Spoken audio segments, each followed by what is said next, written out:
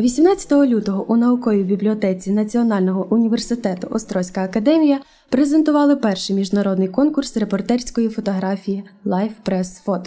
Олександр Харват, рівницький фотохудожник, спільно з Острозькою академією розпочинають проект для всіх охочих спробувати себе у жанрі фотографії.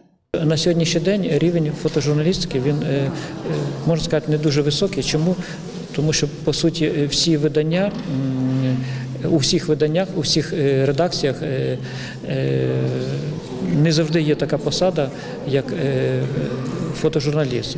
Як правило, ці посади в зв'язку зі зменшенням бюджетів е, редакцій вони об'єднані в одні руки, тобто і пишущий, і фотографуючий фотожурналіст. Звичайно, це впливає на рівень е, фотографії.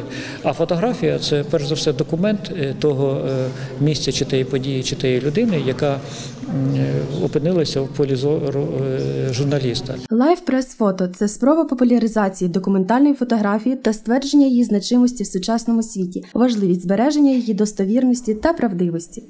Конкурс моментально зацікавив студентів, і вже на презентації знайшлись охочі прийняти участь. Фотографія для мене як хобі, оскільки я сама навчаюся на журналістиці, тому мені буде дуже цікаво спробувати себе не тільки як ну як з тим, що це моє хобі, а просто і для того, щоб розвинути певні професійні навики, тому що е, сучасними інформаційними технологіями, особливо стрімким їхнім розвитком, дуже важливо, особливо е, кому як не журналісту, розвивати себе е, в з різних сторін, тобто всебічно. Термін реєстрації та подачі матеріалів закінчується 30 квітня.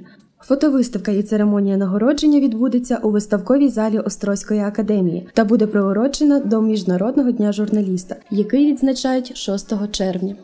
Анастасія Локашевська, Андрій Малюський. Новини Острозької академії.